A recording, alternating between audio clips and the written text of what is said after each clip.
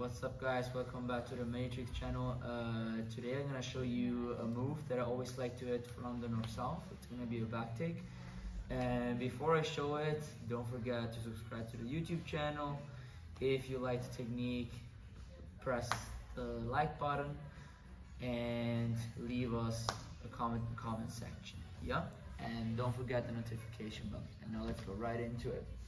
So um, I'm just gonna start in side mount position. So actually, the position I want to reach is getting into kind of north south. Okay, it's not fully north south because north south of course will be completely around and have his head between my legs.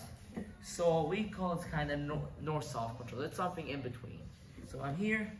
First, I'm having the side mount. Now I'm gonna change the grip so I reach over the arm. This one is going in front of his hip. Now what I want to do is move up, up, up, up, up in this direction. So now for this back take, I need to control both his arms. So I want to underhook both. I got the underhook on the far side, so now I just have to get the underhook on the near side. So sometimes it depends. It's like people are trying to block me here on my hip, like they kind of have the arm here. It makes everything easier because now I just go under, get double underhook, and now I can start hitting the back take. If its arm, if, his arm is exactly posted here in front of my hip, now I gotta work. Sometimes I switch completely the side, and I go here and I catch this grip. Okay, so I get kind of double tricep control and, having underhook. So now for taking his back, I have to sit back and I have to let his hat pop out. So I'm able to take his back, okay?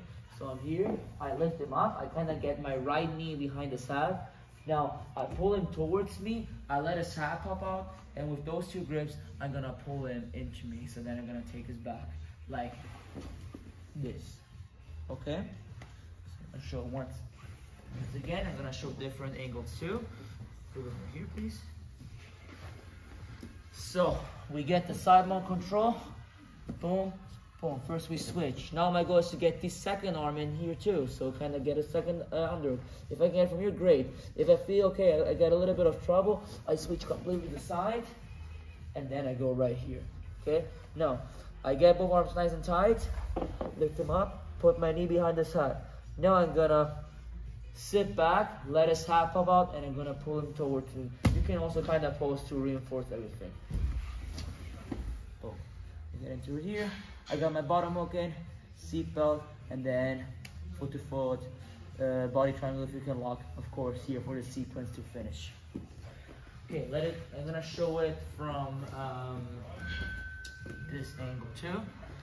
So, is, uh, yeah, uh, maybe, so you can see the work I do with the arms.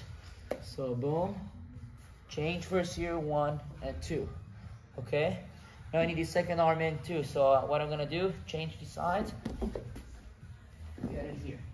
Get those two grips. Knee behind the side. Pose. Let his side pop out and pull it towards me. Seatbelt.